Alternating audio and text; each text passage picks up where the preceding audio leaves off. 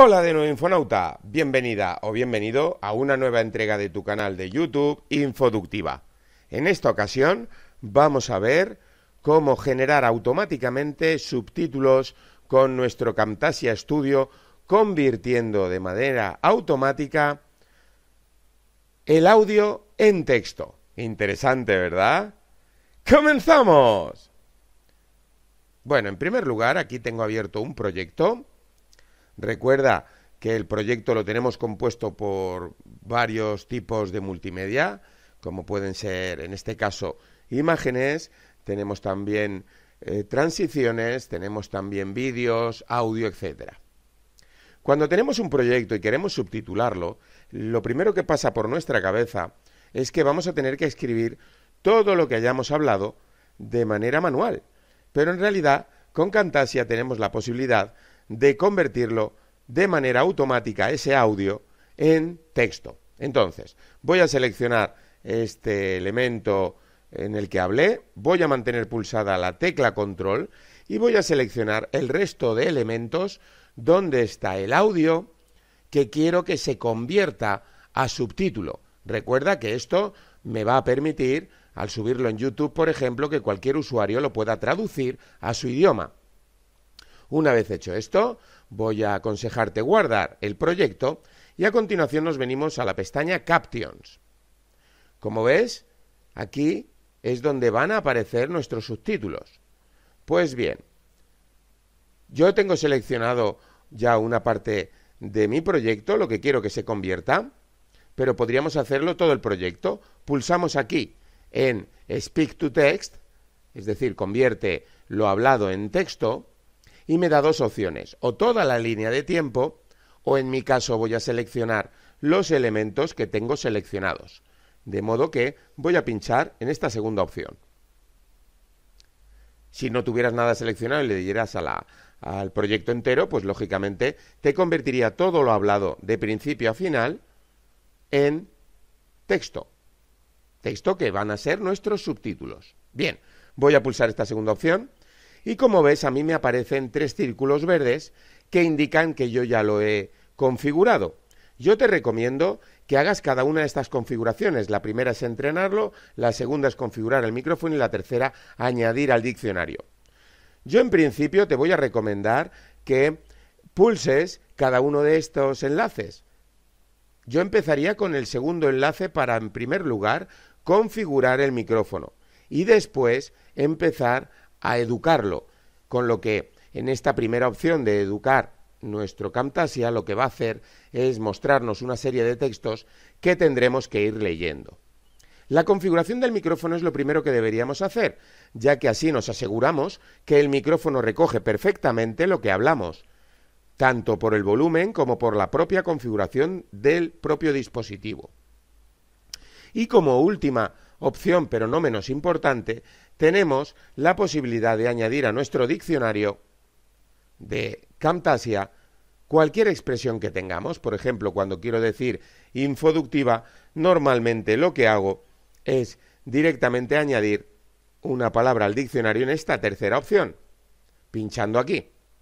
De modo que así me aseguro que expresiones o mm, formas de hablar o quizás cosas que no me las va a interpretar bien, se interpreten bien a partir de ese momento. Bueno, yo realmente lo tengo ya todo en verde, que es lo que deberías conseguir usando estos enlaces.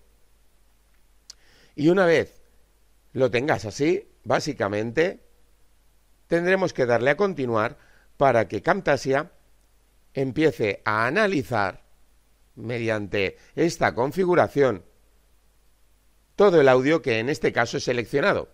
Esto lo que va a hacer es transcribirlo a textos que se corresponden en el tiempo a lo largo del vídeo. Bien, vamos a pulsar continuar, como ves, comienza a hacer la transcripción.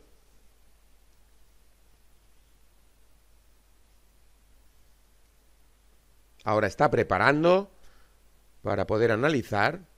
Ahora verás que hay un cambio leve de la pantalla o del visor, como ves ahí está y ahora nos aparecerá la ventana que indica que está trabajando en convertir todo el audio que en este caso es seleccionado en texto que van a ser nuestros subtítulos. Recuerda, esto en realidad eh, se añade como una pista nueva por encima de todas las que tengamos con los textos que nos aparecerán en esta pestaña de Caption.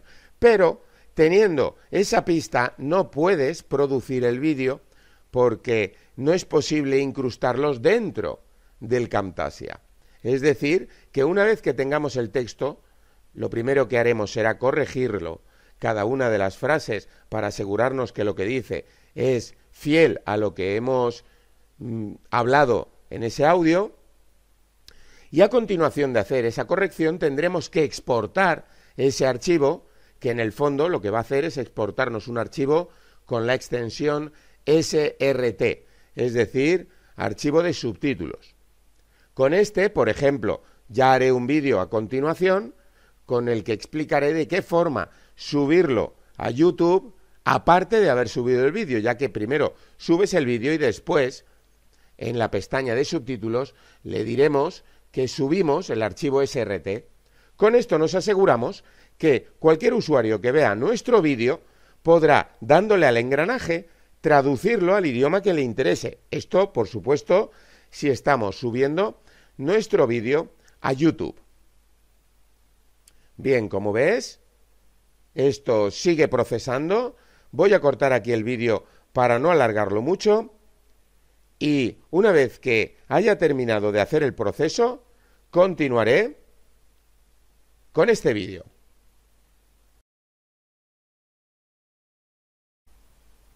Ya ha terminado.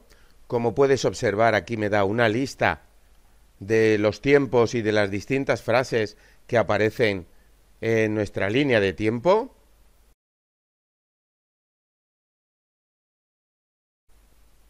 Y ahora lo que haremos será ir corrigiendo cada uno de estos cuadros. Por ejemplo, aquí pone panadero de frauda, bienvenida o bienvenido, y aquí debería decir hola de nuevo infonauta, de modo que selecciono estas dos palabras. Cada vez que seleccionemos aquí arriba, no te preocupes que va a moverse el cursor de tiempo en la línea de tiempo. Así que sencillamente vamos pinchando y vamos poniendo el texto que se corresponda. Vamos comprobando que realmente es lo que dijimos. Así, como ves, esto nos lleva un tiempo, pero ni se acerca a lo que sería tener que escribirlo a mano. De modo que es algo muy recomendable, algo muy útil y sobre todo va a potenciar tus vídeos ya que va a permitir que sean traducibles. Observa que a medida que voy pinchando en cada cuadro se va desplazando en la línea de tiempo para indicarme en qué lugar me encuentro. Como ves, la gran parte de todo ese audio ya ha sido convertida, de modo que lo único que tendríamos que hacer es corregir mínimamente y si hay que corregir demasiado, eso significa que lo tienes que educar y añadir palabras al diccionario. Bien, ya he terminado. De modo que voy a colocar el zoom de una forma que se englobe todo. Ya está aquí. Voy a llevarlo al principio.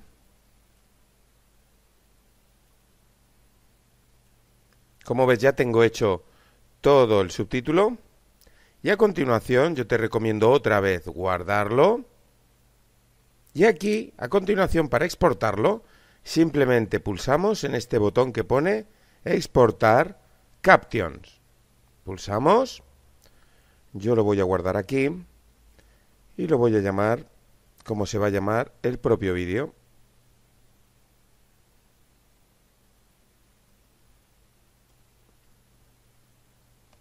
Pulso sobre Enter y a continuación me ha creado un archivo SRT que podrá ser subido como archivo de subtítulo o de transcripción del propio vídeo.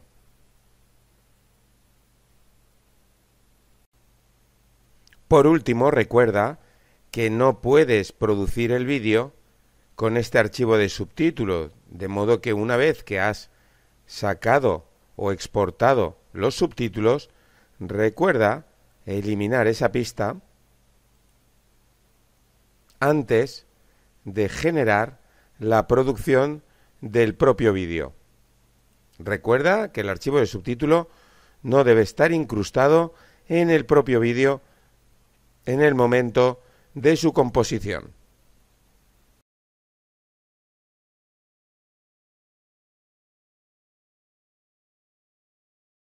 Bueno, eso es todo. Muchísimas gracias por compartir mis vídeos en tus redes sociales. Gracias por suscribirte y por darle a la campanita de notificaciones. Muchísimas gracias por tus comentarios y por tus likes.